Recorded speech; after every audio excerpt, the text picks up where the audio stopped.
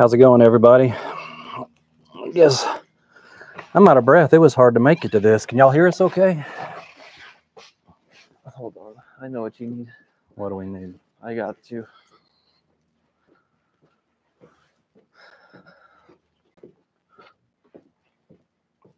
You bringing me a beer?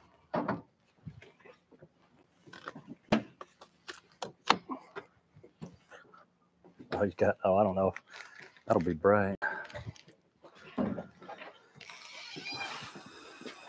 Let's see. That's really bright. Kind of helps. Ow. See, the lighting is much better now. It is. Can y'all hear us okay? Just let me know. Looks like we have a few people in here. We got a couple, well, about a minute or so, and we'll get started here.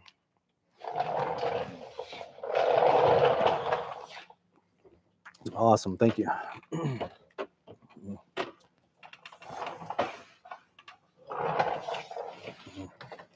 Thanks, Brian. All right. Well, welcome to another live edition. I guess our whole point of this is to ask each other questions and learn from each other's experiences and stuff like that. I mean, I we're, we do the best we can to try to help with issues as far as you know. But we basically get a sentence. Um, you know, it's hard to troubleshoot based off a couple sentences here in the chat, but we'll do our best. And we don't have to do just troubleshooting. I mean, anything that anybody wants to talk about, we're more than happy to talk Ask about. Question about the tools we use to do certain things. We could show you. Yeah, anything. Skinny rims for skinny snow tires. That's a good question. We'll, we'll start at the top. I've actually got uh, one of the guys that works for us specializes in tires. I wish he was here. I need to ask him and get back to you on that because we just did a lot this winter um, that he sold. So awesome, guys. We'll just jump right into it. Um, looks like we got uh, the first question from Roger here, and, and we'll try to limit these. You know, like I said, we can't troubleshoot everything based on a couple sentences, but if it looks like it needs to go in depth, what we do is we schedule just one-on-one meetings where we can, um, you know, pull your service manual, your serial number, and everything. And we can look deeper into that. Yeah, But we'll try to stay like a minute 30 per question. yeah, we'll do our can. best. I just appreciate y'all being here. Um, so Ro- Roger has an issue. Roger from Texas, and we're going to read out these questions. So when we go back and look at this live stream, we know what we're talking about. Um, 740 turns on for 20 seconds, turns off, but it'll turn on again. Has a new pump injectors and put new fuel lines on it. So the first thing I would need to know, Roger, is if you have any codes. Usually, if a machine runs for 20 seconds and shuts off, it's probably a charge pressure issue. I mean, is your belt broke or something like that? Um, if it shuts down, um, if the ECU is shutting it down, you should have a code. So we would need to know if you have a code or not. But I'm thinking that it might be a charge pressure issue. You sure your belt's on and your belt's, um, yeah, in good condition. This one here, I can read him. He says, Did you have a problem in getting the wrong parts from Bobcat? This is Brian. Even when you enter the serial number, I have an 873. I wonder if I have any in between here. So it, it depends on. There, there, there is there, there, was two generations of the 873, um, and it, it it's weird when you're looking at parts on the Bobcat site. You you do have to pay attention when you're ordering the parts because you'll have the same breakdown, but it'll tell you this serial number break versus this serial number break. So if you're not dead on uh, the serial number break or whoever's looking up the parts for you, there, that there was a lot issue. of times when I worked at the dealership, they'd give us the wrong parts because the serial number breaks. yeah. So we had to triple check them. So I find that the manuals, the parts manuals are really good. It's the person who's looking up the Yep. parts. Yep. Right here we have, oops, we have 2017 E26 pattern changer is stuck. So tried soaking with penetrating oil, had no effect. Repair or replace. So that that the, the end will come out of the um the the valve. It, Snap ring. yeah, I think it's a snap ring. But I usually replace them. I haven't done one on the E26, but I've done them on some of the larger ones. They're pretty easy to replace. Yeah, they're- easy. There is a lot of lines going in there. Just make sure you You mark your take a lines. pi- you can take a picture of it before you um, remove it, and they're those they're the hoses that have a clip, so you have to take the clip out to pull the hose out, and then you have to swap the fittings. You can put the clip back in it and push the hose through. Mhm. Yeah, I've pulled them apart before, but it seems like they kind of get seized in there, like the the body itself, or um, I don't remember, but I always end up replacing them. I think that's going to be your best bet, Bill. Thanks for the question. I'm the third owner of a Bobcat 773, which is the C model, I believe. When I enter the serial number on Bobcat's website, it comes up as a 7753. What's the difference between those two? I couldn't tell you. Dang, Mike, I was hoping you were going to answer that one. Man, I, I I've only seen a handful of the 7753s, but they were the basically the same one. I used to know this because I used to research the motor machines, and I can't remember, but there is a at um, on bobcat.com you can research the um, I'd have to find the right page, but it does have the history of all of them and it shows what the differences are. And I think that might just be a year thing on the 7753 because I think that came out before the 773, so it might just be a, a, a weird serial number break where um, the manuals do do that sometimes. If you notice that you'll type it in, um, like that uh, that excavator we're working on. I think if you type that serial number in, it comes up as a 337, but it's actually a 341. Yes, it does. Yeah. Yeah, so- they, they, they have they just group them together. So so that does happen sometimes. Right here we have. Are there any from Douglas Smith? Are there any aftermarket sprockets as good as Bobcat? So sprockets, I'm not. I can't really answer that question because I always on the sprockets I use genuine Bobcat mostly all the time. Um, there are a lot of good aftermarket manufacturers out there. I just can't speak for any of them, uh, to be honest with you, Douglas. Sorry about that. Um,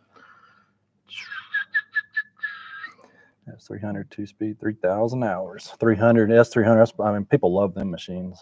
from Georgia, Tony Fur. This is Tony Fur from North Carolina. Thanks for the advice on the 883 axle bearings. Replaced all four. Works like new. Not that difficult. Awesome. It's good to hear. Was it easier than the S740 bearings, you think? Yes, most definitely. Taylor Richardson, hey, from Georgia. Hey, that's my hometown or my home state, I guess, man. Awesome. Thanks for being here. Ken H says my S205 becomes kind of noisy and the drive levers will almost vibrate after it's been working hard and, and it's hot. I was wondering if that is in the drive motors or pump. 2,300 hours. Let me get down to that. Uh, we got a special guest, Micah Wood from Jacksonville, Florida, man. Welcome. How do you even find time to even join one of these things, dude? That's that's impressive. Appreciate you being here. Fat fingers. Oh, 873 is a 773 comes up as a 7. What? Wait, did you, do you want to do this S205? Oh, okay. I'm sorry. Let me back up to the S205. It becomes noisy and the drive levers will sh- vibrate. It gets hot. Is it in the motors of the pump? It, it, it could really be either or on that. Um, does your oil check your hydraulic oil? Does it become foamy, almost like a milky color? Sometimes on those S205s, especially if it's a manual machine, what happens is the pintle shaft seals will kind of leak, but they'll actually suck air into them. There's negative pressure in that case sometimes.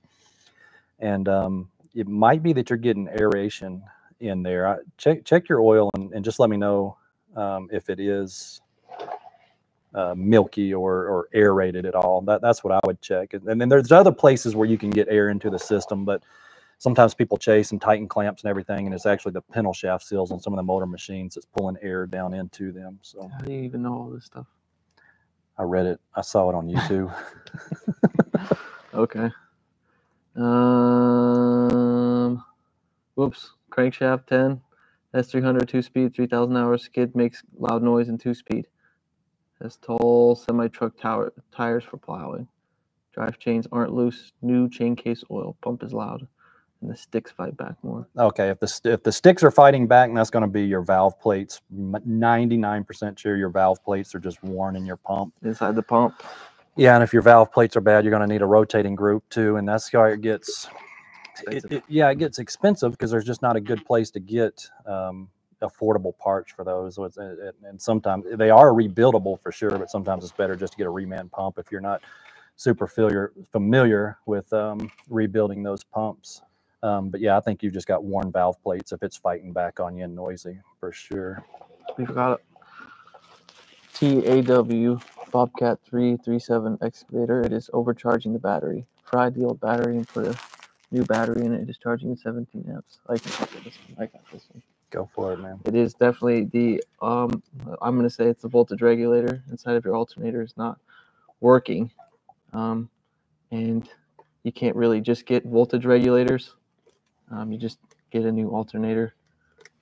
Yeah, and check check the actual voltage, you know, amperage. I mean, those things can charge, you know, 30, 40 amps, no problem. It just depends on the condition of your battery when it starts to charge. Did you mean 17 volts or 17 amps? We- That's yeah, it says amps. So yeah, I'm wondering if it is charging 17 volts. And yeah, definitely. It's at voltage 17 volts. That's what I guess I thought in my mind. Yeah, didn't read it yeah. Right, but But he, he could be measuring current. I'm not sure. So was that it um would be the voltage regulator inside of your alternator. yeah, Copper Creek line? I- Copper Creek. I noticed that, or I recognize that name. That's awesome that you're down there near Micah, man. right here, Wesley Carter on the T76 oil filter relocation kit. What is the status of that coming from your outfit? gotcha. Thanks for asking, man. Um, I had a whole order. So Permacool, you know, Permacool is huge. You know, they make all kinds of radiators and um, transmission coolers and all that stuff. They also make the filter head for that.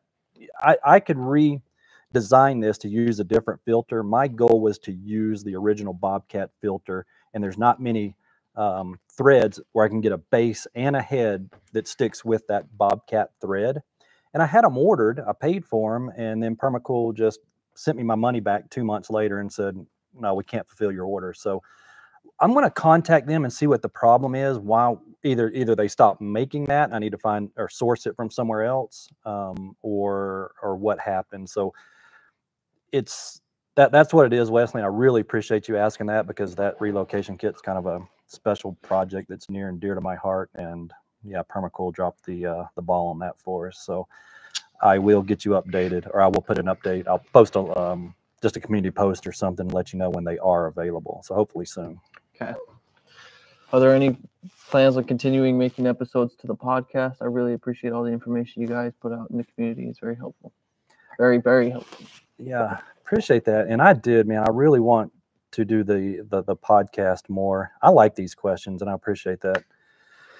It's a time thing. Like I, I This guy has zero time. If you were here, like trying to get this dude to work on one thing, that engine back there, trying to get him to work on one thing at a time is literally impossible. it's it's 15 hours a day around here and i just want to go home and spend time with the Yep. kids sometimes so yeah we and even on the weekends we're up here working so it, it's a time thing uh really but yeah i Maybe when whenever you get more streamlined and more people working, you can work your eight hour days. yeah i try to do some by myself and i'm not good talking to myself i need a guest each time So so crazy. but thanks for asking i have not given up on it i just have not had a chance to um, get back on the podcast Pedro Vin, Vince Vinent says, "Do you recommend repairing a leak in the final drive motor, or better changing it for a new one? The machine is a uh, 2016 Bobcat T550 with 3,500 hours." So on a, a 2016 model, so do you have the, I'd say the F or the T, but it, if, if you don't know what I'm talking about, what, how, how many bolts is in your hub? So normally what I do, Pedro, is, is I tear the motor down and then I determine whether or not it's rebuildable or not. Um, I've got some on the table back here behind us, two of them we tore down that I'm kind of iffy about because the face seals on them, uh, where the face seal O-ring goes, it had a lot of rust and, and kind of pitting in there. I got them cleaned up pretty good. I'm I, I quoted it both ways to the customer. I said, man, I'll reseal it. I feel good about it, but I can't guarantee it. So that's something you almost have to tear down and see. I mean, you have to be super familiar with it. It, it is easier just to replace it, as far as like labor wise. So Yeah. It, it, it, if you don't know how to tear it apart, then you can just replace it. And I know? should put, I should have somebody typing in the chat here some of the links. CR Components. Re- remember that, Pedro, or write that down. CR Components out of You can- Indiana. you can type it right here. I can't type and talk at the same time. Well, I'm not as talented as you, Mike. Yeah, CR Components. Check them out. They've got motors, pumps, seal mm-hmm. kits for everything. Like I said, I, I usually like to stick to OEM, but the seal kits are like a thousand dollars from Bobcat. You know I mean? That kind of prices you out of doing your own rebuild. So, um, yeah, check out CR Components and compare getting a remanufactured motor from CR Components versus getting a seal kit and doing it yourself if you're if you tear it down and your brake pack is shot, don't don't even try. The brake pack is just too expensive to even worry about doing it yourself. Right here we have. Can you explain Copper Creek Cuts lawn care?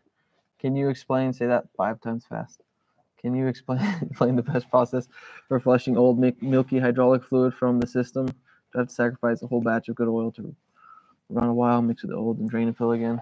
I've I've had it where somebody came in and they had watery fluid, and it Mhm. really all we could do was we just drained it all out, filled the whole system up, ran everything, drained it all out, filled the whole system until it looked like, like a good color.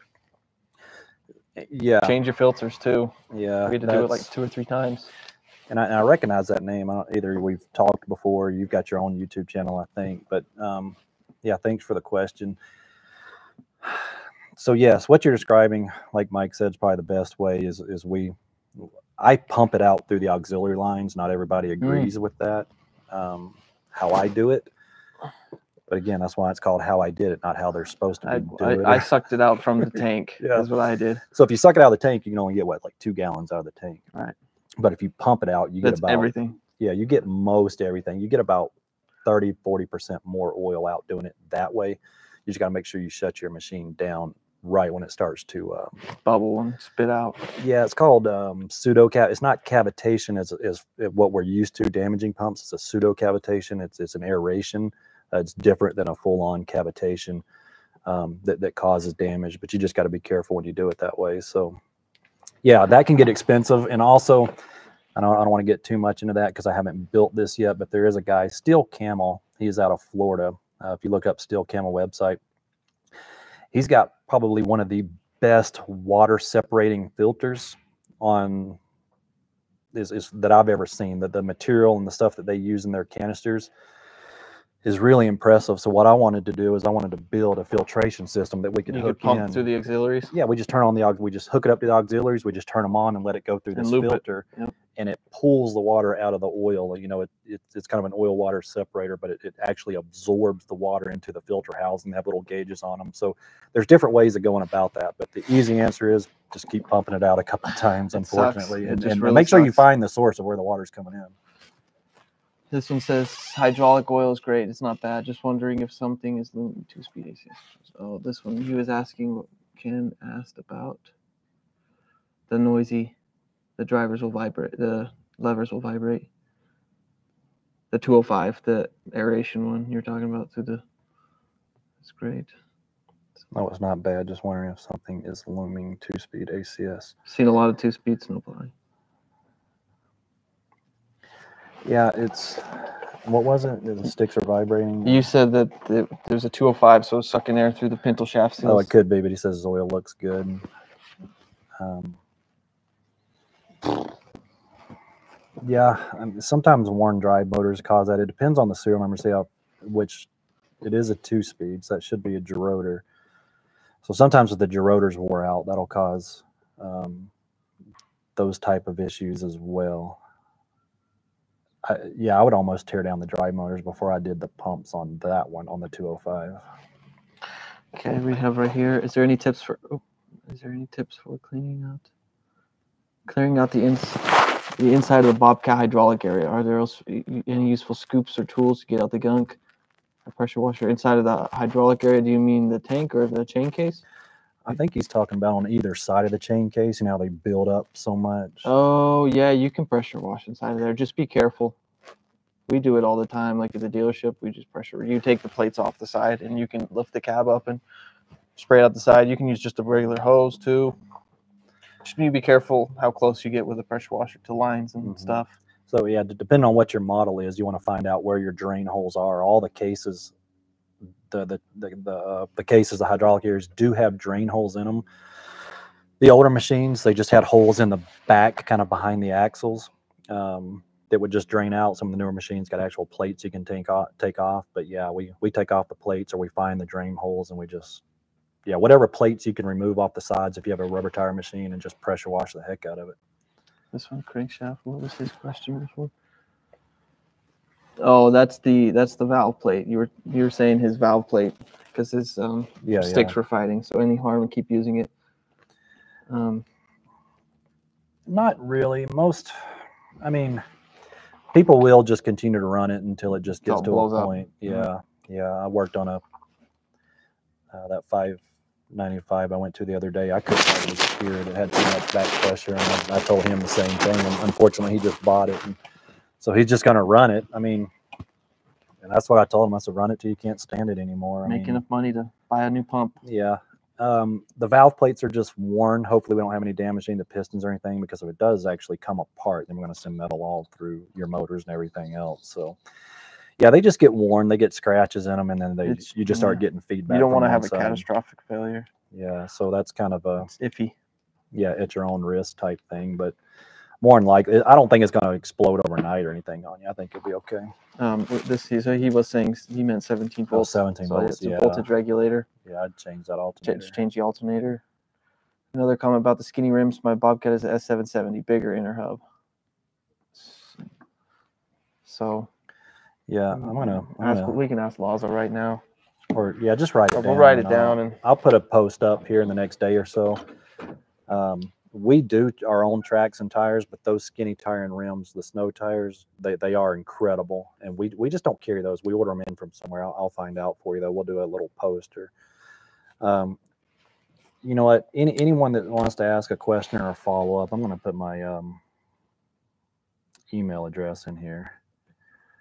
And just just remind me your question, and I'll try to get an answer back to you. All right, what else, Mike? you can't type and type and talk at the same time. No, I so cannot. I, I literally can't even type and not talk I'm, at the I'm same waiting for you to finish typing. Okay. How was it starting up your own business, specifically with purchasing service truck? Along the same line of thought, can we hope to get a shop, toolbox, and truck tour? awesome, Yes. man. I've, I've kind of wanted to do that, man. But ever since I changed out of my big truck into my little one, I haven't even organized it like I want to yet. Um, how was it starting up your own business? It was stressful, man, and I and I hated to do it. There's a Still lot of- stressful. it is still stressful, but I went from literally just me to two weeks later, I couldn't tolerate it anymore. I called Mike, and then Mike came to work for me, and now our company has um, 11 employees now. We were 12. Uh, one guy just moved on to different things. Yeah, so we're up to 11 employees now in seven months.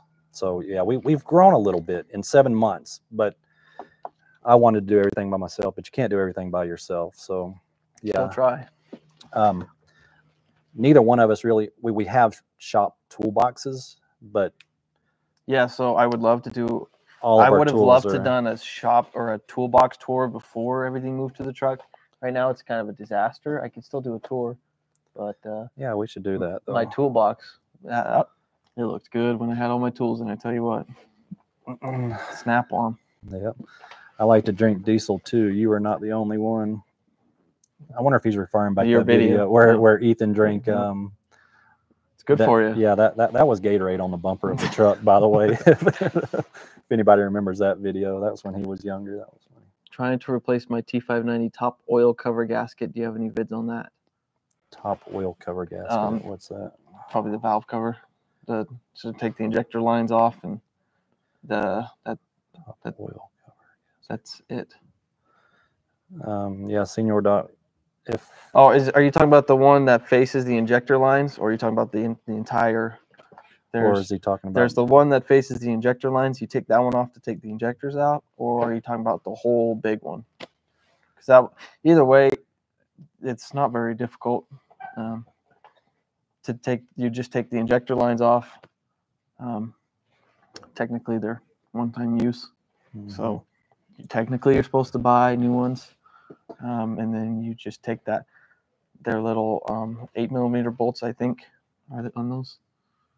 I think so. Yeah, one Yeah. eight millimeter head. Yeah, then you six take, then you, yeah, you take the things off. You take that little cover off. Then what you got to do is take the injectors out.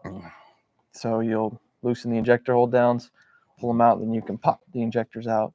Make sure you put them back in the right spot, and you have to unplug them, take the return line off, and then it'll come off. There's always a lot of dirt in the back, uh, in between the. There's a heat shield, in between. There's always a ton of dirt, so you got to be careful with all that. out. Um, Sue has a bobcat loose in our neighborhood, and she's worried about her chihuahua. Any tips on how to trap it? Shoot it. No. So for our um, for our bobcats, they're attracted to diesel fuel and hydraulic oil.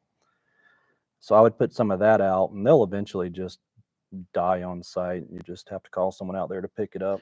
You you can find the bobcat. There's usually oil leaks on the floor wherever they go. so how no, that's not true. that's That's not true.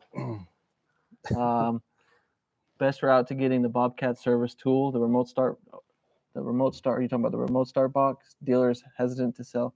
Really? Yeah, they don't want to sell you the RST because you can't do anything with it without the software, and you can't Oh, get the okay. software.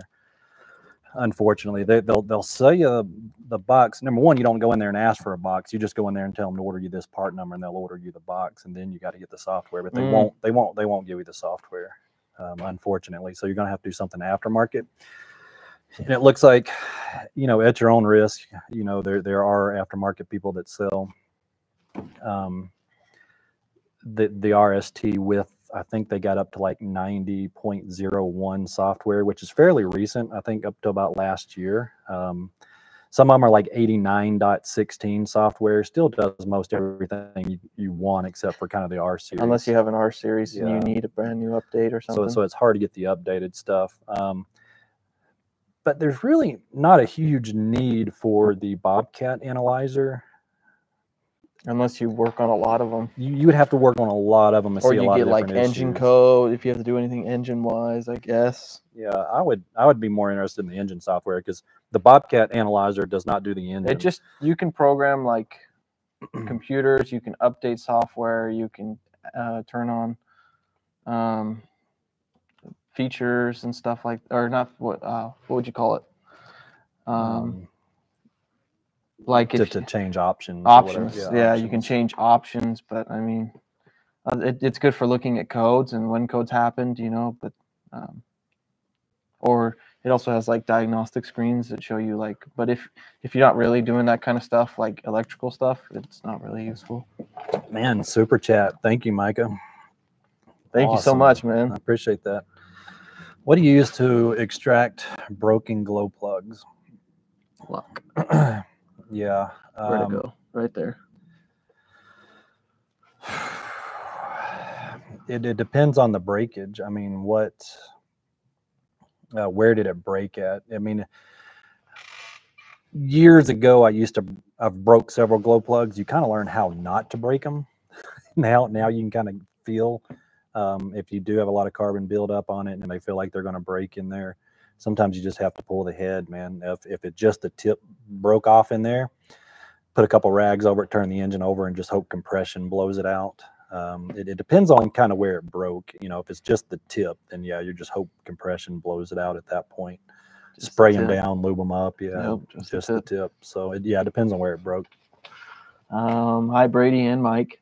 Still working on my A300 drive pump problems. We're working on removing the engine and pumps currently. Also found oil in the coolant. You got a milkshake maker. What you got? Justin, sorry to That hear sucks, that, man. man. Yeah, it's a lot of work. Just easy.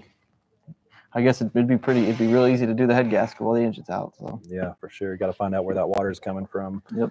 Um, A300. So that we'll have an engine oil cooler. So don't don't forget the engine oil cooler is a possibility of that happening. So probably easier to check that first. Yep. How do repair and replace the bushings located on the end of the boom where the bucket pin goes through? 331E. how to remove and replace the bushings. So on those, I usually just torch mount. I just cut a groove right through the bushing. Uh, the bushings on those do come to a, a hard stop. You got one on each side. Um, and usually I'll just take a torch and I'll just cut a little groove in them. It, it's kind of hard. I mean, That kind of goes for any other bushings that are stuck. If if it's too hard and you're not finding it, you can always just. Yeah. But you just got to be real careful not to hit the. yeah, you don't want to cut into the Mhm. boss itself. So Um, once you once you cut a groove and then you cut another groove, it should just come right out.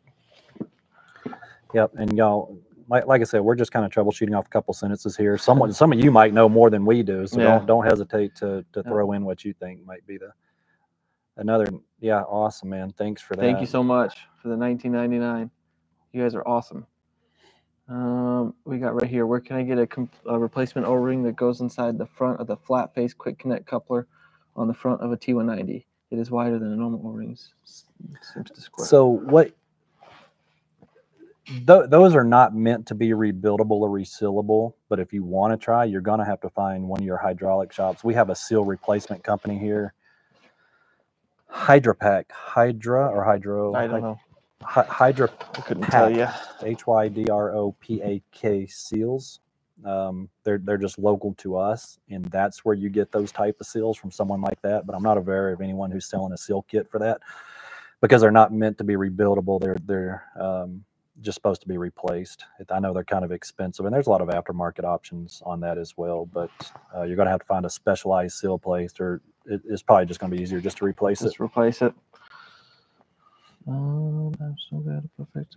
Thanks, Ken. Appreciate it. Yep. Thank you. High perfect uh, figure oil cooler or head gasket. Yep. Mhm. Where can I buy the final drive motor that is cheaper than at the dealership? Um, CR Components, right? Yeah, CR components. We put that We- it's somewhere in, in, it's the, in chat. the chat. CR Components. Um, maybe Friday Parts. Maybe Yeah, Friday part. It, yeah, it depends on the serial number. you can Um, if, if you can somehow find the part number um, to your motor, you can yeah, just look that up and it'll pull it up. you know, there, there's a lot of dealers, and and I don't want to throw or say anything negative about any company but there is a lot of aftermarket rebuilders out there, and there, a lot of them are good. Um, I would just search for that, but CR components is where I would start. Look right here. Crankshaft 10 says, oh, sorry, we're skipping one. John Smith. I got a Bobcat in my shop leaking hydraulic fluid out of the axles. Looks like, what could that even be? You have, um, we don't even have it here. We just did that. But basically, you have uh, your axle, and then there's the hub at the end. There's the bolts at the end of the hub. And I just did this for the first time. And you take the bolt off, or you loosen the bolt, and then you have to use two bottle jacks to pop the hub off because it's on there super super tight and you have a seal right there just a like a bear, wheel bearing seal Yeah, it's a wheel bearing seal. and you it says in the service manual you put two screws in and a slide hammer to pull it out or whatever So I've got, t- I know at least two good videos on a full rebuild on those um those axles. I mean, if your seal's leaking, more than likely your bearings are probably worn out, if not bad. Um, so I would refer you just kind of search through our YouTube, and I've got a real early one that I did a couple years ago that shows how to pop those hubs, and I've also got another full rebuild on it that shows how those seals and everything work. So those are pretty good. Actually, those, yeah, those videos will take you from start to finish, help you out with that. What was he saying about dealership? or- um no we already got that one where can i buy the final Oh, that's right. Okay. kirk niles a1 tire in minnesota sells them at 1750 pre-tax i assume you're talking about the skinny tires for your a300 yeah crankshaft 10 so So it says it right here kirk niles a1 tire in minnesota Check them out. Yeah, Minnesota would be a good place to source those for real. Yep. they, they're always dealing with it. Oh, that that was Kevin that did the, Thank you for the for 1999. beers. Thank you, Kevin. Check the fridge. It might be getting low. 2010 Bobcat S185 machine, bought used. Always been a weak right side drive. Overpowered when I do anything on the left stick. Oh, so the left is stronger than the right. Identical to the crankshaft's valve plate issue. That's what I mean. Machine bot use always been weak on the right. So his left side is stronger than the right side, and when he's trying to go forward, it Yeah. So are you are you getting full travel? Is it weak in reverse as well? That that would be my question. Are you getting full travel out of the stick? Um, I did a video on a T595, although it's a track machine. I basically show how I test the pressures on the pump. We just deadhead it right into a gauge. So on an issue like that, if I'm trying to determine if it's a pump or a motor, I pressure test the pumps on both ports. And and I do have a video. What was that? it was fairly recent, just a few months ago. Remember where we deadheaded the gauges on the that was a T595. We put two drive motors Yes. on. Yep. Yeah, No so we- about. Yep. There's a video on that. I, I show how to make the adapter for the pump, and um, The hydrostatic pump is what he's talking about. The hydrostatic pump. yeah, so we would just test both those. So what you do is you just put plumb a gauge into it. We run it full bore and see if you're getting that 5,000 psi you need. Yep. Um, it, it's pressure, not necessarily flow. If I mean, like it could be either or, but if you make pressure, more than likely you're going to have flow. And so that that's how I determine. So I do have a video that I show how I did that. Grant. Thanks for the question. Loris, greetings from across the ocean from Latvia. That's awesome. L- Latvia. That makes you wonder why there's more. Anyways, nice, nice to watch the work of a knowledgeable mechanic. Good luck. Thank you so much, man. You are awesome. he must be talking about you. I don't know about that. I haven't even answered a single question. Yeah, you have. I use a washing tip for the torch to do the bushing. Oh, Hydra Pack seals. Hydra Thank- Thanks, Marty. Thank you, Marty. It's weird to say your name. Thanks, babe. I'm not gonna say that. A washing tip. What is a washing tip? So a washing tip, yeah. So like a washing tip for your torch. Sometimes it looks like a regular torch bit, but it kind of comes off at an angle, and it's called washing. Yeah. So, um, and and that might be a little bit better option. I have not tried a washing tip on the bushings. I do have a couple of those tips. I need to try that, but usually I do it to blow out uh, welds on when we're doing like um, bosses on the end of the arms and stuff. I'll use a washing tip. I haven't tried one, but yeah, good idea. Uh, just Google washing tip, and and you'll see what that is. Watching from Scotland, great channel. Looks like you have a great team. Did you end up opening your own shop after you left Bobcat? Yeah, we did. We we got two service trucks now. We've got six thousand square foot shop that we're working out of, and went from literally me six months ago by myself to uh, like we said earlier, we're up to eleven employees now. We've got a sales team. We've got a full rental department, and everything. So That's it right there. we've grown a lot. Thanks thanks for asking. Um, yeah, and yeah, we could go deeper into that, but yep, and we're extremely busy here too. I have a ooh, Subaru Impreza 2008. Whoa. Problem is, it was driving normally. After that, the speed get lower and low RPM.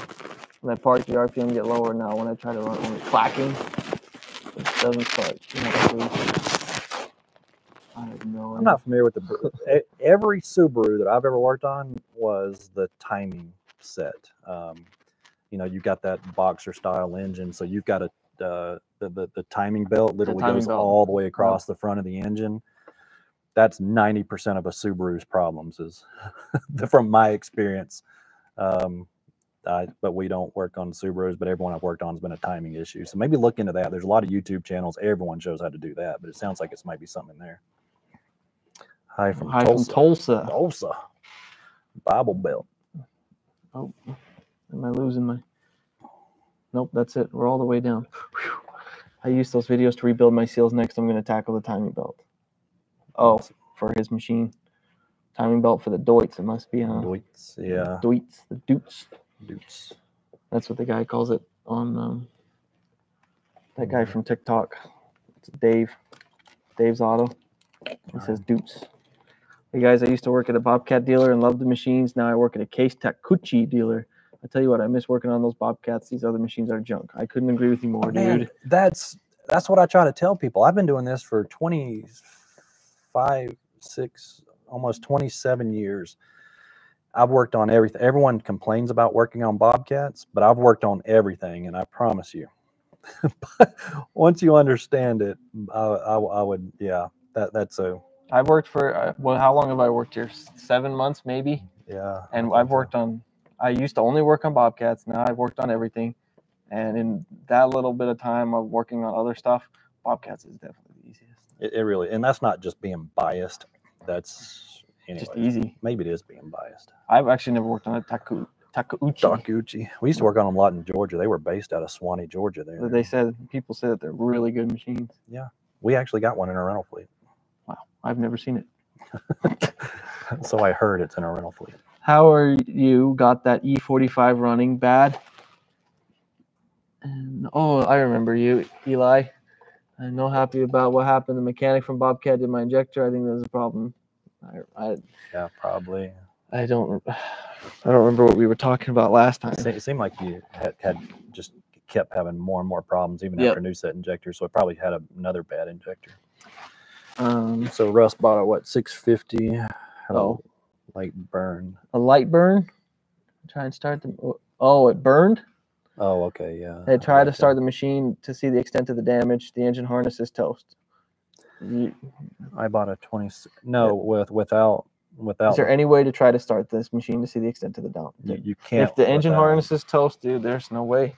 No, Nothing's gonna happen. no. Yeah, you've got to have a good engine harness and ECU. That's the only you cannot start that engine without. You can try and you can crank it over, I guess. But You could crank it over with starting fluid, but that's like when you put ether into one of these engines, that's a big no-no. It's Yep. like hitting the piston with a sledgehammer. That's the worst thing you can do. try to do something. But if you wanted to see if it wanted to turn over, spray a little bit in there and see if it'll actually run on that. Um, that that'll tell you if it had good compression or not. But but you cannot the injectors will not fire without a good harness and um, because they're electronically yeah, operated. all that information going through the ECU, unfortunately. What kind of spanner wrench do you guys use to rebuild cylinders? I have yet to find a good one. All right, well, we'll get everything. what what are we asking? If, uh, Spanner to get it off. I use a pipe wrench to each the heads up. Yeah, so I'll show you. We got a couple. all right, so We've we got we've Brady's got a favorite couple and good we've got tools. my favorite, and I used Brady's favorite today, and it was terrible. And I used my favorite. It was very good. They don't. It's very good. It doesn't always work. Cylinders have really fought us uh, the last. For some reason, few cylinders have here. really fought us. Um, so I started out with a Toyota timing tool. I oh, really like that. I still use that. Where is it? I'm not sure it should be back there, but Oh, he'll right bring here. those up and we'll take a look at those. Um, but yeah, so I don't like using pipe wrench or Knipex, but sometimes Sometimes you have to. you have to. And today we had to. I mean, none of our tools would work, and it's just it's kind of an anomaly that the cylinders or the heads are that tight. But sometimes you have to. But like you said, it it, it kind of it does not look very professional when Okay. you do that. So this is Brady's favorite tool. The thing is awesome. So you see, for Amazon. bobcats, we have these holes that they go into to loosen. And so this is off Amazon. You hit it with the hammer to get it to loosen, and it's nice for like when they're loose. But in my experience, when they're when they're just a little tight at all, it doesn't do anything. This is the one that I. This one is Brady's, but this is the one that I like. Mike likes that. I'd You never stick buy your- another one. You stick your 'em. half Yeah. inch uh, breaker bar in here and you stick that in the same holes and do the same thing. And then here's the Toyota cam tool, spanner wrench. Just comes in a little kit. It's kind of the same thing. You got the little holes there, and these will come out. The tips will come out, and you can change the sizes. But that one kind of flexes a little bit when you put a lot of torque on it. You got to know how to make sure you torque on that one. the problem, the problem with the Bobcat style cylinders is if it gets a little, a little tight at all, the heads are aluminum and they just start to round out, and you can't stick these back in. They don't work. Once it rounds Yeah. out, so then you have to pull out a pipe wrench. So we try all three of these before we go to We the pipe. always wrench. try that before we do the pipe wrench. But like I said, sometimes you can't get away from it. Um, it was a All right. S850 run for a while, and then locks up, won't move, forward, reverse controls won't either. I'll check on this. So, uh, Roger, on the S850, it's got to be coding, man. I say that I've I've had one machine in my lifetime that would lock up and would never code, and I fought that thing for months and months and months, and um, never did come up with a good answer on it. But you should be getting a code if it locks up. Um, you know, you can check your codes depending on if you don't have a deluxe panel, you press and hold the light button, right? It'll say Mhm. hold for codes or Yeah. no, or you hit the information button on an 850. You probably got an, an M series. It's S eight fifty, so yeah, it'll, you, there's an I. I yeah. So you press that and roll you just through. click it, and it'll Yeah, tell you. it, you should have a code, but if not, and know. there's in that corner, in that on the left panel, there's the. I think if it shuts off, it'll show the blinking engine or the blinking uh, Yeah. exclamation point. That's so you have a. It'll- diesel mate from over school. I, he works for JCB. Man, you know, gosh, I wish I could talk to you Yes, we need your we need your help. JCB will not share any information, no schematics, nothing. They treat us like I don't know. I don't. I would not buy a. I would not buy a JCB from the way they treat people out here. Um, they But it's the most. It's the there's most, no help. It's the most popular equipment in the brand in the world. I guess. That's what No there's the most Doosan. JCBs. yeah. Um, That's I, I thought. yeah, we work on. We just can't get any information for them. see. There's no support online. There's no information. There's no YouTube channels. There's nothing out there. Um, unfortunately, awesome sauce. Someone's in trouble. Oh, never mind. What the mechanic did before Commencer. how he installed the ejector, grab car grease, wrap around each of the injection. I mean, a lot. so when you install the injectors, Eli, um, what I do is you use a little bit of grease to put the copper on the um, around the. You don't touch the tip with the grease, but you use it to put the copper on the injector, and then you use grease around the O-ring so you can pop it in. So yeah, you do put grease on the O-ring. I wouldn't. I don't put a lot. So that's weird if you put a whole bunch, but you put a little on the O-ring that's on the injector, and then a little on the copper at the bottom, and you pop it in. So it's weird that if you put a lot. Yeah. Brian Sutherland has a 2019 T650 gets M. It, that should be 0509 when warmed up and at idle, but code goes away when idled up. So that is low charge pressure. So how do you know this by the top of your head? YouTube. Um, no, I was looking it up while you were looking at. something. No. cheated. I Oh, cheated. I I did. thought you knew Um, top of your head.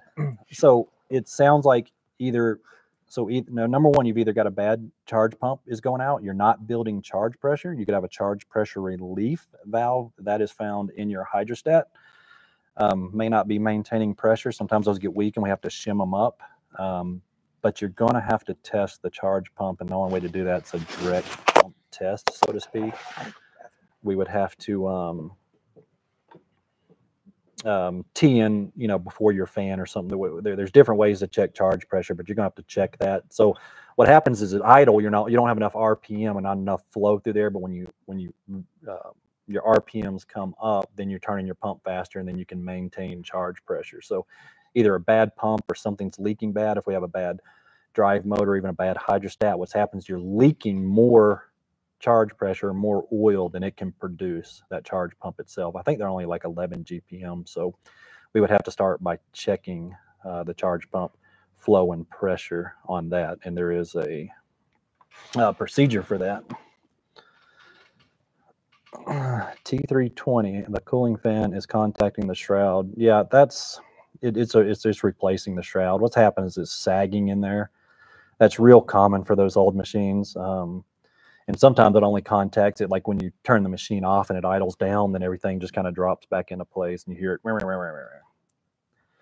I'm not going to do that noise again. That would cost you a nickel. But yeah, it's just it's sagging and but there there was a shim kit. I'd have to look it up, but I don't think many people were having luck with that shim kit. Um, it wasn't really helping anything because of the warpage. Um, it's just an old shroud, and that plastic just kind of warps and, and changes in there. So replacing it, if you can find it, it's going to be your best bet on that. Um, swash plate codes. Is there any way to adjust the swash plate sensor or replace it without pulling the motor? Um, yes, you you can replace the swash plate sensors. It's not easy. Yeah, it does suck.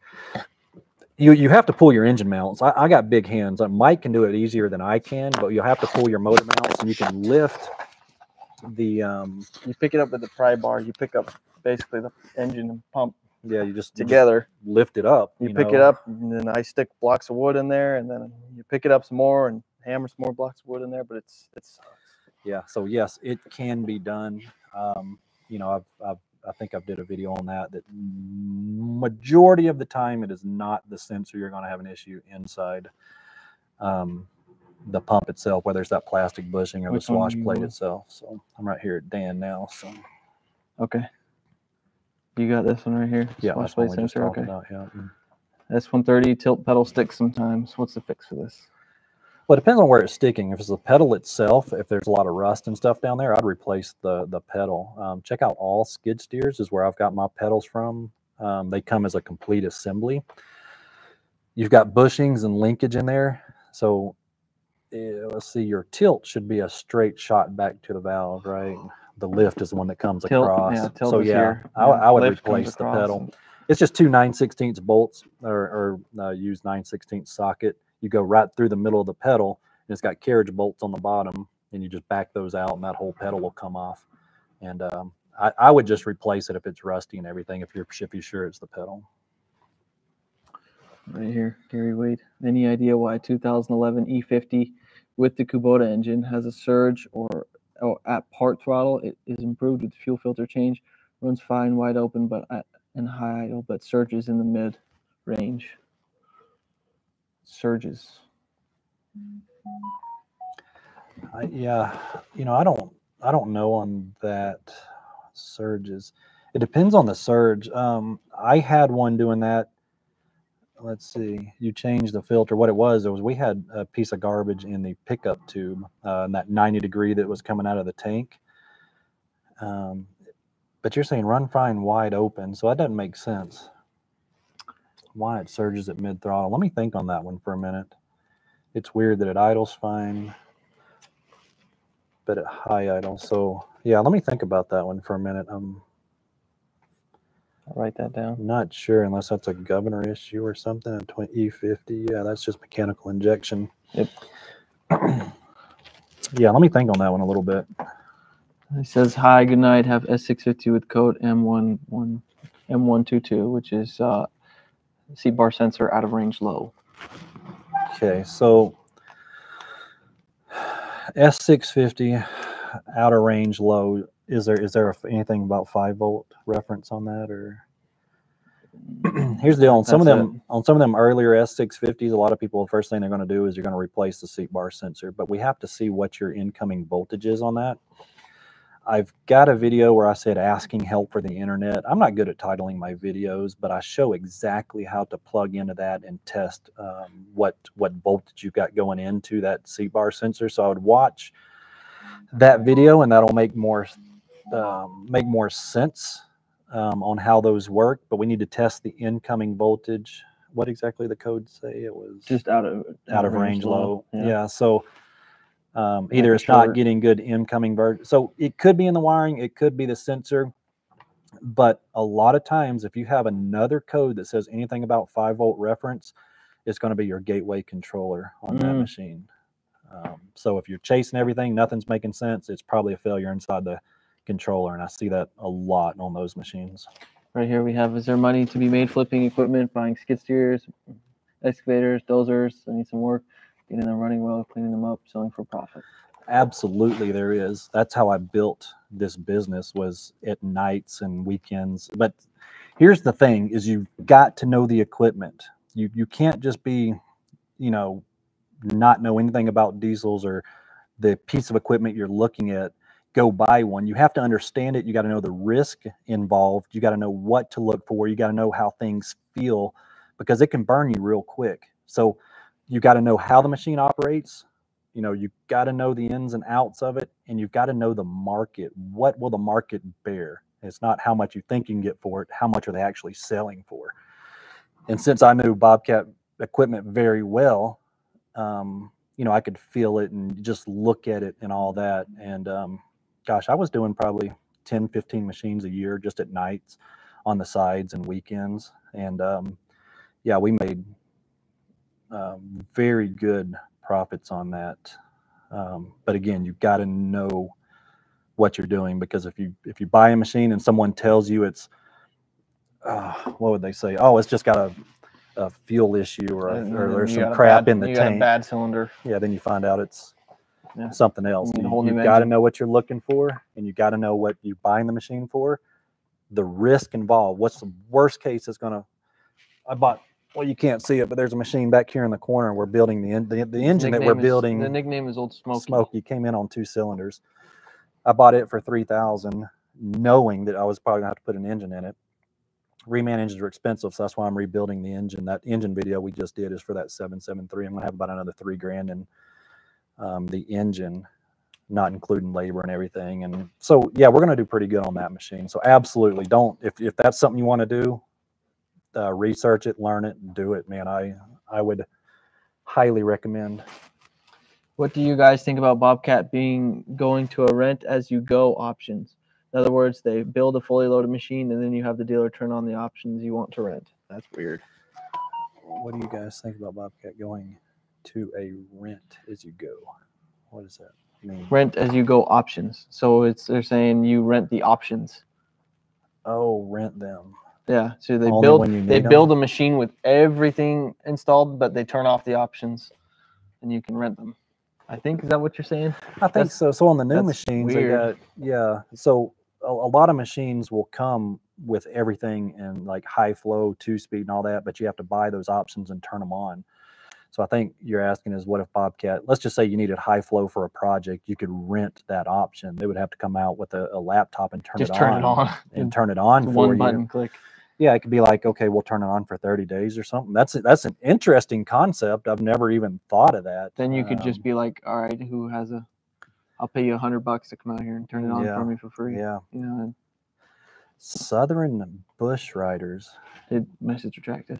Well, I know, but do you think that's what kind of bush you think that is? You think, you think, you think That's that's, a, why- you, you think that's like a holly bush or something, or is that a? No, I know that guy. Hey, Oh. thanks for being here, man. Linkage moves freely to the pedal. That's the foot pedal one. So Yeah. just replace the So pedal. it, it sounds like it's the pedal itself. 2020 T740, 2500 hours won't start. Lots of black smoke coming from exhaust. I'm thinking turbo. Well, if it's not going to start, um, the turbo doesn't isn't really going to help it start. Um, I'm going to lean towards injectors. You can, um, I don't know. What do you think? It's not starting. I think it's injectors. Well, yeah, you you got to start with that leak back. Um, if you're getting a lot of black smoke, I mean, it could. Okay, well, let's go back to this one that we already did a while back, where the turbo was bad and it was locked up and there wasn't enough airflow through it. So Okay. yeah, when when you're so what it was is a blockage of airflow. You know, you're when, when you're starting an engine, you're actually going to have um, negative pressure. The turbo isn't up to speed yet, so it's not creating boosts. You'll actually see your map come down. Yeah, That's normal you- but um, you know if it won't start you know just number one make sure your your um, the turbo will spin freely if it's locked up sometimes you just can't get enough air uh, into the engine to start it but you're going to need to do a uh, do a leak back on that The- the- 740 as the, f- well the first thing I would do always when something wouldn't start was do a static test, a leak back test on the injectors before anything. Mhm. Um, because in my experience, not starting means you have worn out injectors. So, um, says, "Hey guys, what series of loaders do the both of you feel were are the best? I enjoy my G series. Keep up the excellent work." He likes the old um, mechanical stuff that I don't know how to work on, and I like the R series, just because that's all I ever worked on. yeah um, that's all in who you ask i like the old machines because they're kind of vintage to me like i've got my 763 back here i would never sell um, it's an f series but You'd sell it for a hundred grand. I'm not sure that I would. No way. Oh no, man! Look at that. You can't replace that. Maybe I would. You yeah. could replace that with a hundred grand. Yeah, you could buy three of those. Yeah. Um, you know, they're all good machines. It depends on applications. Like if I had to run one all day long, hell, I would want an R series. R series for sure. Yeah. They're nice. Pressurized cab, super quiet. You know what I mean? So what's the best machine? That, that, that that's hard. But but the G series, it is very hard to beat a G series because G series. Look, we're what 20 years into the G series already, or 25 years because they came out around 2000. See me in 25 years and let's see how many R series are on the road. Yeah, You know right. what I mean? So that that right there. is- Yeah, gives right. you- Those piece of junk. I just know them, Yep. and Did, they're really nice to run. So did I miss some? I don't even know where I'm at. no, you know, you're good. It's all the way at the bottom. You're good. I'm paying attention. Don't worry. It's right here. Do you guys know any Bobcat mechanic in Las Vegas, Nevada? Um, gosh, I don't know any. you're from. I'm from Las Vegas. you don't know anybody. I didn't. I've never worked on Bobcats in Vegas. I can tell you that much. Gosh, I got a friend of mine about 45 minutes outside. I know he buys and sells a lot, but he's really good at working on them. Um, I'd have to ask him if he mind me giving his name out. I don't know if he wants to do that type of stuff, but other than that, I don't know anybody. I mean, we're only what six hours, right? Yeah, we're six hours from People, Vegas. people bring us equipment from all over. Um, we got a guy here from California that brought an engine up to us. He's here right now. So, Yep. Um, but we get machines from Montana, California. They, we get machines brought to us. Bring it on. Bring it on up. Sorry to bother you again, but swash plate sensors. Is there any way to test them to see if they're defective? Since you say they about never go out and want nine hundred Mhm. bucks a piece. So while you got the engine up, swap it left to right and see if your codes go left to right. That's that's going to be the easiest way to check it. But if your codes stay, so let's say you swap the sensors, but your code stays on the right swash plate or whichever one you were you said it was, And you, have a harness, or it's in the pump. yeah, then it's probably going to be in the pump.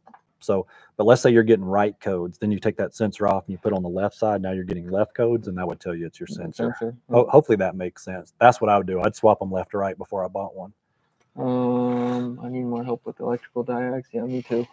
And Kevin was talking about on Dan, it could be the detent, and I think he said the tilt. So the tilt wouldn't have a detent. That's what I thought at first, but um, if it was on the the lift has the detent, but the tilt wouldn't have a detent. Well, that's what he said. It was the lift. Oh, he did say lift. I thought so. Okay, No, maybe. Well, Kevin, then you're spot on. Then Well, That- then let's see. I would have said that. Oh no, you're right. He said tilt. My bad. So yeah, tilt doesn't have the. Yeah, but I had to reread it. So Kevin, that's actually a very good point that you brought up there, um, because I thought that at first too, and I was like, no, but he said tilt. So Um, he says I need more help with electrical diags. Mike can help you with that. Yeah, I I'll make some videos. Um, good evening, fellas. Came on late. Eastern Equipment, welcome you're here. back, man. Yeah, thanks for being on back. the rent as you go options, I would actually got I got a survey from Bobcat asking if I would stay with Bobcat brand if they did this. Wow, I'd love to see that survey. Mm-hmm. I, I didn't know they were that that was something they were working on.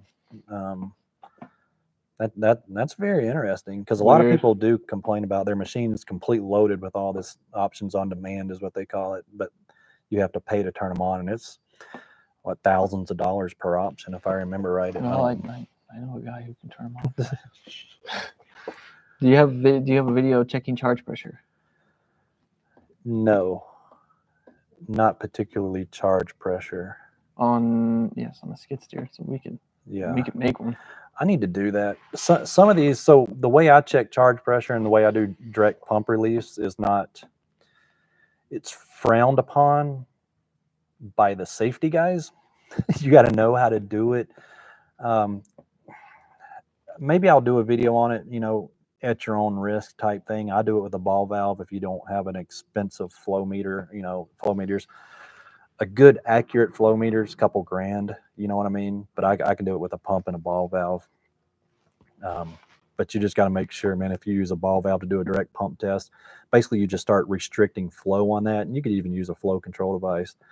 But um, if you were to shut that off, something's going to give, something's going to blow, something's going to break. You have to be very careful doing it the way I do it. And I guess that's why I haven't done a video on it because some people would freak out if they saw how I did it. But it's very, um, it's a very reliable and informative way. So maybe I'll do something on that. But I know I'll get, I'll get Well, feed or I'll get bad feedback. I'd have to look at a schematic. I swear one of those ports is for charge Oh, pressure. yeah, One of you yeah. could just hook a gauge straight up to that.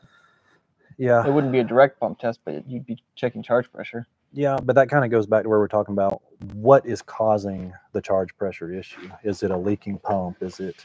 So yeah, you can plug in a gauge and check charge pressure.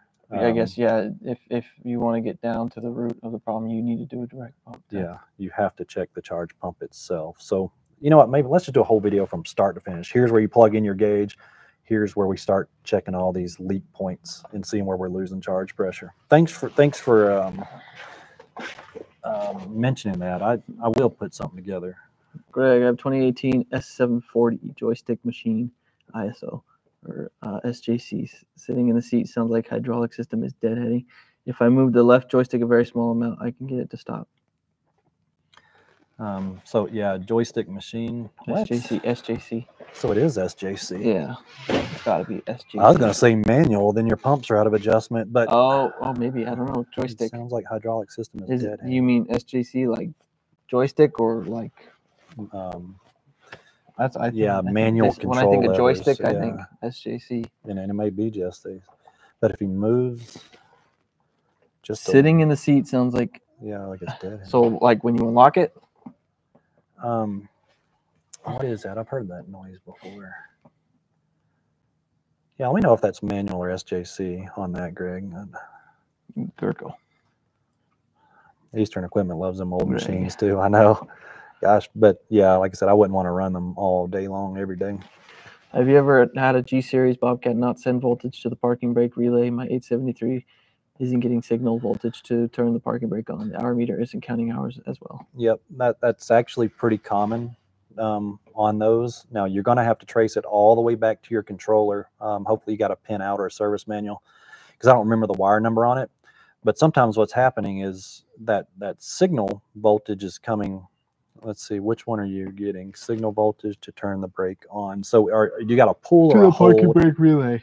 It's to the parking brake relay. You remember we did a um, a video on how those uh, pull hold Oh, to the to the actual relay. to the relay. Okay, so that you know, well, again, so that is coming from the controller. so we have to go back to the controller, and I pin out there. Um, I back probe the pin uh, with the wire number. I'd have to look it up on the schematic. And sometimes you only get like four volts out of that controller, and it's an internal uh, failure on the controller. So if you've already tested and checked your wiring all the way back to the controller, more than likely it's going to be an internal failure, and that's not uncommon. I've got a stack of controllers back there that were all bad. It was either on the pull or the hold circuit. That could be either one. They both come from the controller. So Right here we have 2019 T450 forward auxiliary circuit open. Forward auxiliary circuit open. Have you checked your auxiliary coils? Um, sometimes it's just as easy as a loose connection. So on top of the um, control valve, if you raise your cab, you'll see your control valve over there. You've got you'll have a solenoid in the center of it, but then you're going to have um, two plug-in solenoid-looking things on top of the um, control valve. Um, I would check forward auxiliary circuit open. Like it's unplugged. Yeah, I, I always check the codes. Sometimes we get new machines that come right out of the factory. They're just not plugged in good. But we check that 2607 code. Let me just make sure I'm, I've got, I'm thinking of the right thing. Long ways from Vermont. Trucking companies come out this way all the time, Brian. no. Yeah, front base solenoid open circuit. Yeah, front base open. So yeah, um, so it's either going to be in the wiring. Um, you can um, you can swap those solenoids from left to right to test if it's a solenoid. You can't. I don't think you got enough wiring to swap the wiring. You'd have to make some pigtail adapters. So if you swapped them left to right and see if the um, the code changed, that would tell you if it's a solenoid or if it's in the wiring. Um, and those aren't hard, just a couple screws. You pull that auxiliary solenoid out, swap them left to right, see if the code changes on that. This one is Tommy says on the T T320 fan shroud replacement, does engine have to be removed to replace cooling fan shroud? No, T320. no, but the um, the cooling package usually does because what happens is the bolt goes all the way through, and they'll spin underneath the cooling package, the radiator, the hydraulic. So if you're lucky, you don't have to replace the cooling pack or take the cooling package out. if you're lucky, yeah. Right. Um, But no, you don't have to pull the engine out to do that. um, any special tools you use often that you recommend for Bobcat? Multimeter. Voltmeter. yeah, for an R series, yeah, you need a multimeter, an amp clamp, a Yeah, amp, amp DC amp clamp. Man, those are great for troubleshooting uh, parasitic loads. on those Um, R series machines. we're gonna do a um, a video on our favorite tools for working on Bobcat. I mean, a nine sixteenths wrench, A 9 16 ratcheting wrench Yeah. and, a, and a half inch wrench. Uh, Yeah, we're, we're we're gonna do a video on that. I, I can't think of all of them I off the top of my head, yeah. but I've got a bunch of like little special tools and stuff that I made to work on that. Man, I. Yeah. Uh, but thanks for reminding me. We'll write that one down too. That'll be another video that we do here at some point.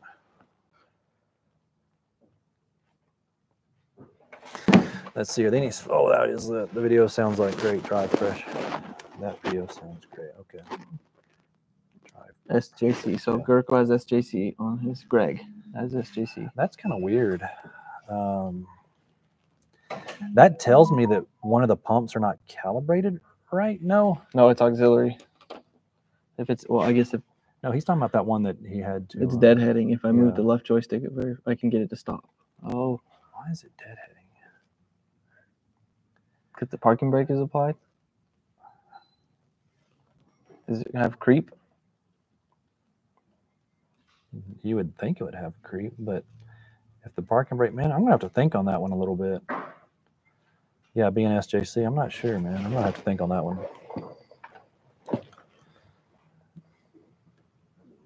Yeah, the fuel systems on the old equipment for sure, man. Them things will run on anything. You get a little bit of water in these new ones, and they're dead. DED, You just need to put water next to it, and they're dead. a sniff of water, they're done. I sent my controller and big stash to ISOCELL. They thought that my problem was in the big stash just over the phone. Do you know of a reason why the dash doesn't count the hours? The Bix dash, Tyso. So they thought my problem was in the big stash. Oh, the left dash. Uh, the left pedal. Well, the the the hours come from the controller, so I'm not sure. I sent my. It's okay if it doesn't count hours. Are the hours not moving? You just don't see the hours in the screen, um, or oh, it just doesn't count the hours. That's okay. I guess that means your okay. machine. Then it means once you get a thousand more hours, it's the same. That's okay. Yeah. Um, I'm trying to think where the G series it gets its. What what is it? I'm sorry, man. G series Bobcat, eight seventy three. Oh, an 873 parking brake. The hour meter isn't counting hours as well. I'm going to look at the schematic on that. It seems like, like I know some of ours with the Kubota engines and all, they get the signal from, I think the RPM sensor or something. But ah, crap, okay, I'm going to have to look back at that. Don't don't quote me. It's it's been a while. But but the controller is ultimately responsible for the hours on that. So I wonder if there's a signal that's not controlling. I'm going to look into that a little bit because I can't remember where it's getting it on that Deutz. I mean, you, sh- you should have an RPM sensor on that, but I'll have to check into that one. He says no creep. No creep. Greg says no creep. Okay, I want to think about that one. All right, I see a Bobcat with an LS motor here. Yeah, we can do that. I we're want gonna put it. We're gonna put an LS in that uh, 763 over there. I would love to do that. It, they they work really better with like the 743s when they went inline, but now the R series are inline. We can rip all that out and drop in an LS, but we'd have to talk to all the other controllers. So that might be difficult because Very the way they're the way they're so integrated. That's interesting. Yeah, I would love I would love the LS one. That would be awesome, man. Hours don't count. They do display. Left hand dash. Yep. Called a big stash. Yep. Left hand dash. Hours don't count. They do display. That's okay. Yeah, that's okay. Well, not necessarily. I I, mean- install Y tracks on my MT Hunter with this with the spacers With the spacers, and how hard is I it didn't to know that install. existed. Yeah, so I mean, uh, it depends on if you buy the wide track or not. It's just a spacer, but same same on the thing. track on- frame. yeah, same thing on the R series machines. So not all the R series machines came with wide track spacers, or they wouldn't fit wide track. But you can buy the spacer kit to put on there. I'm gonna be honest with you. I've never put a spacer kit on the MT, but I'm gonna look. I bet that. you have to get longer hoses for the drive motors. I'm trying to think. I don't know. Let me look into that kit. Um, and I, I will find out on that. Shoot me an email if you don't mind at some point and let me know. All right, where are we at, Mike? That's it. We're all caught up, We're man. caught well, up. awesome. Well, thanks again, guys, for all the questions. Um, like I said, if anything that we need to go in more in depth with, we do schedule uh, one-on-one, or we can do like a video chat and stuff like that, and where we can actually see what you're doing and kind of hear what's going on. But I've got a quite a few things written down here that I'm going to look into, and then So I'll make sure you guys, if he said that we're gonna look into them, you can shoot them. You can do a consultation with them. You get a lot more time one on one. Yeah, when we do our um, when we do our consultations, I know it kind of we did have to go up on price because we are getting so many of them that I just couldn't keep up with them and and the amount of time that we're putting. It's not just I call you at whatever your time is. We actually pull the manuals, the schematics, you know, so we're fully prepared. We actually put more time into our consultations than what you see on just the call. You know, we, we try to be best prepared to uh, not waste any of your time as possible when we do those, so we can get more in depth as far as that goes. So awesome, man. Yeah, we'll keep the videos coming, man. We really enjoy these live streams and the the questions because you're putting us on the spot, and that helps us even learn more. And you get to watch Mike sit here like an idiot with no, smoke coming out of his ears. Mike, I couldn't do it without you, man. You're the second best mechanic I know. Oh, jeez. but awesome. Well, thanks again, guys. Um, hopefully, we'll see y'all next week. Peace.